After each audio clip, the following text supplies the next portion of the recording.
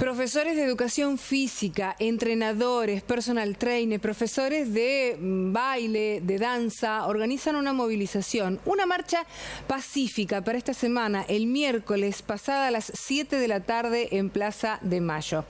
Ellos quieren contar qué es lo que les pasa, cuál es la situación que viven. Hace prácticamente dos meses que no trabajan, los lugares están cerrados, hace prácticamente dos meses que la mayoría de ellos tampoco cobra el sueldo.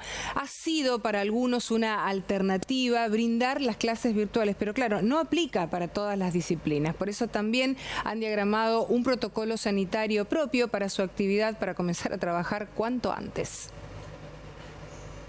bajo el lema para que empiecen a escucharnos, habilitar nuestros trabajos y valorarnos los profes de educación física. Titulares reemplazantes o deportivos se convocan este miércoles 13 de mayo frente a Casa de Gobierno. La problemática principalmente resulta económica. ¿sí? Ante el cierre de nuestros trabajos del día cero, que la Cámara de Gimnasio no, nos brinda la información de decir que cerremos, adaptándonos a las medidas de prevención e higiene. Nosotros optamos por cerrar, hacer caso a esas órdenes y a raíz de eso tuvimos que implementar lo que son las rutinas online o de trabajo en casa.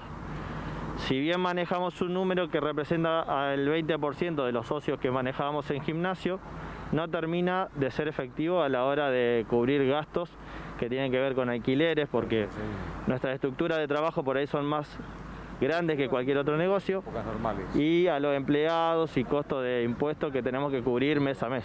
Por este motivo están convocando a una movilización eh, a una concentración el próximo miércoles, ¿no? Eh, efectivamente, el miércoles a las 10 de la mañana nos encontraremos en Plaza de Mayo.